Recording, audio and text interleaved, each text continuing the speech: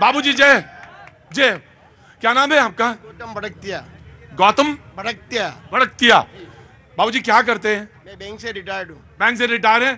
पहले इन सब इनके लिए जोरदार ताली बजाइए। आपके घर के आपके परिवार के तमाम सारे लोगों के लिए शुभकामनाएँ देता हूँ। सवाल पूछना चाहते हैं आप? पूछिए।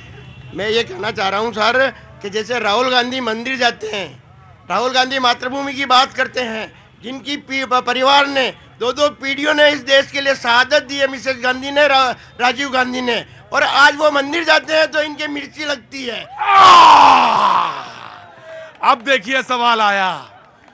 बोला राहुल गांधी जब मंदिर जाते हैं और जब जनेऊ पहनते हैं अरे नहीं देखिए देखिए देखिए देखिए और जब जनेऊ पहनते तो आपको बड़ी अब वो शब्द तो मैं नहीं बोलता क्योंकि मैं ध्यान रखता हूँ। तब आपको बड़ी परेशानी होती है। क्यों परेशानी होती है? मैं आपके पास भी आऊँगा। जी। मेरा कहना है कि जी सवाल है क्या कोई? हाँ हर रे कांग्रेस ही हलफनामे में आपको तो मैंने पहचान लिया है। सजग रहिएगा पीछे वाले से। यही नैया डुबोते हैं सारी। जिस जिस के पीछे अगर आदमी सही नहीं हुआ तो वही नैया डुबोया है उसने। जी जनाब। आप मंदिर जाने की बात कर रहे हैं। कांग्रेस ने तो हलफनामा दिया है कि राम एक कपोल कपोल कल्पित व्यक, व्यक, कपोल कल्पित हैं। वो अस्तित्व में नहीं है। जो राम के अस्तित्व को नहीं मानते वो मंदिर जाके क्या करेंगे? इसका जवाब दे कांग्रेस।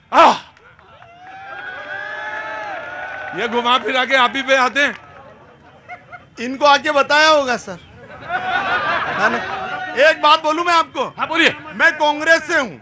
हाँ। और मैं रोज मंदिर जाता हूँ डेली।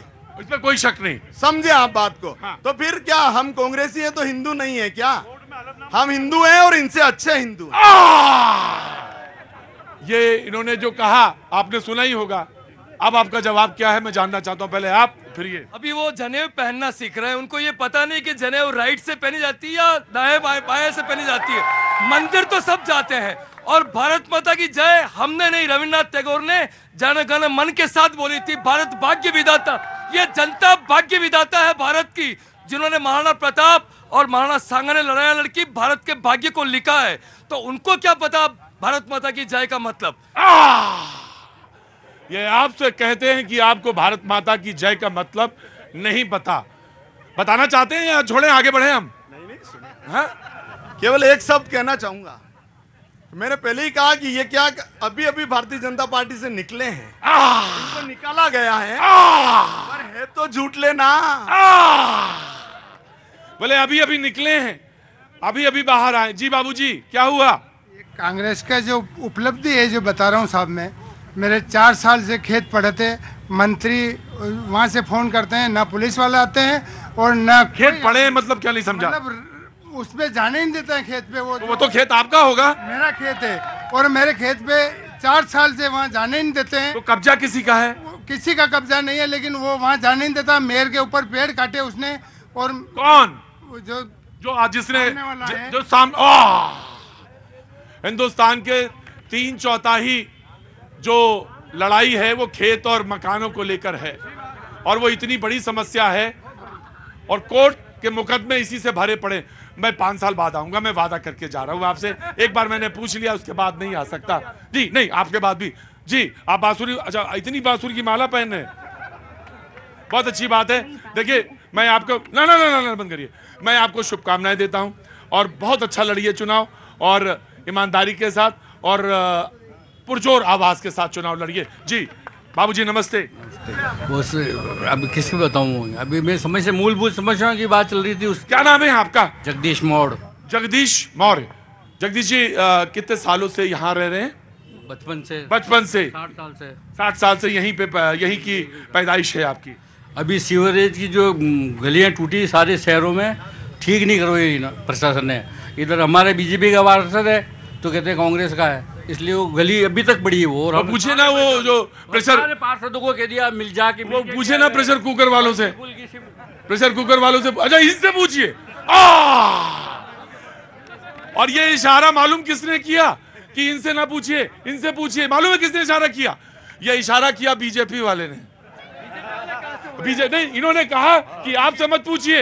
इनसे पूछिए। नगर परिषद में सत्ता है। सारा घेर घेर के आप ही को ये फंसा रहे हैं सारे लोग? कोई संकट मैंने क्या कहा सर? कोई संकट नहीं है हम सही हैं। और समझिए आप हाँ। सीवरेज आवश्यकता है पूरे देश की। बिल्कुल। और कोई भी काम होता है तो उस काम में थोड़ा समय लगता है। और समय के अनुसार सब सही होता है। आज हमने करोड़ कम से कम 25 करोड़ की चित्तौड़ में सड़कें बनाई है। आज आप आप चित्तौड़ में घूमिए इनके ये विपक्ष की पार्टी बोलती रहती है। अब वो कह रहे हैं मोर साहब कह रहे हैं कि अब बीजेपी का पार्षद ने नहीं किया। काम मैन्युअल काम होता है सर। आज थोड़ा वक्त लगता है। आ, थोड़ा वक्त लगता है। थोड़ा वक्त भाई मैं आ रहा हूँ। जी बोलिए खड़े हुई एक मिनट रुकिए जो भविष्य का चुनाव लड़ना चाहती हूँ उन्हीं को पूछूँगा। खड़ी हुई क्या करती हैं आप? मेरी प्राइवेट नौकरी है कोर्ट में। कोर्ट में? बहुत अच्छी बात है। तो चुनाव कब लड़ना चाहती हैं आप? हाँ जी। अगर वीडियो बनाओ पहले।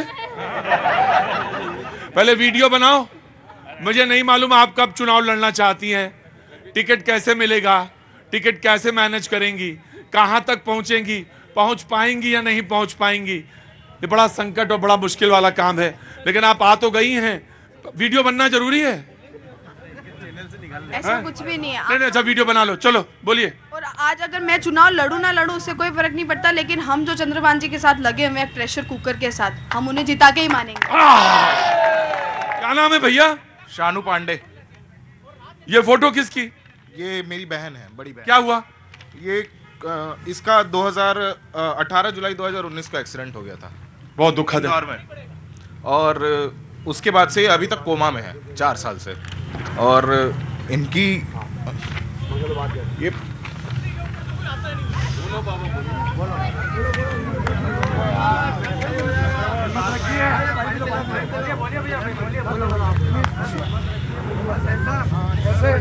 बैठिए।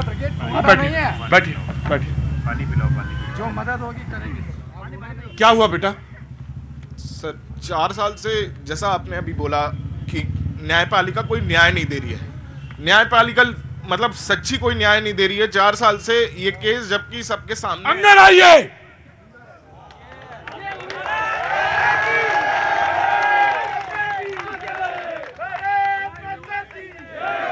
मैंने कहा था ये हाथी के दांत हैं।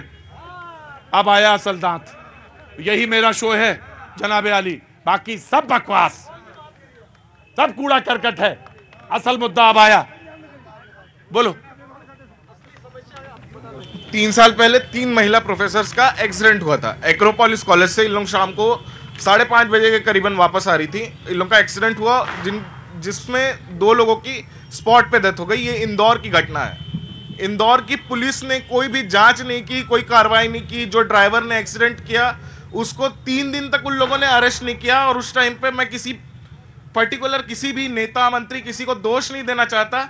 लेकिन अगर सरकारी कर्मचारी अपना काम ढंग से नहीं करेंगे तो हम लोग कहाँ जाएँगे फिर? और न्यायालय में? न्यायालय में भी कोई न्याय नहीं हो रहा सर।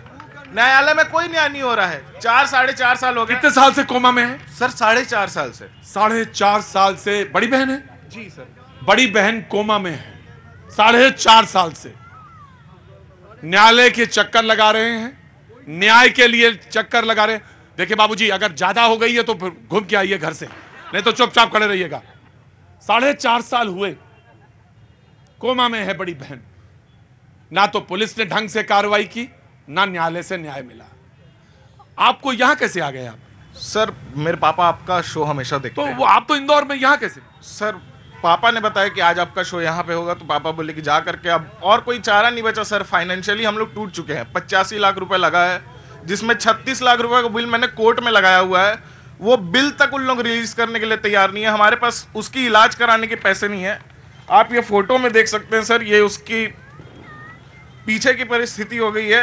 ये उसका शरीर था पहले का और ये अभी में। कोई भी मुझे मालूम है आप चुनाव में बहुत व्यस्त होंगे। मुझे यह भी मालूम है, चुनाव में कार्यकर्ता भी बहुत व्यस्त होंगे। लेकिन हुजूर आली साढ़े चार साल से जो कोमा में पड़ा हो। और बड़ी बहन छियासी लाख रुपए बताते हैं कि बिल बन चुका है। छत्तीस लाख रुपए का बिल तो हमने कोर्ट में लगाया सर जो बिल जैसे मेडिकल कहाँ से न्याय? कहाँ से न्यायालय? कहाँ से पुलिस? कहाँ से व्यवस्था? वक्त छोटे से ब्रेक का। ब्रेक के बाद फिर लौटूँगा। आप यहीं मौजूद रहिए। बोलिए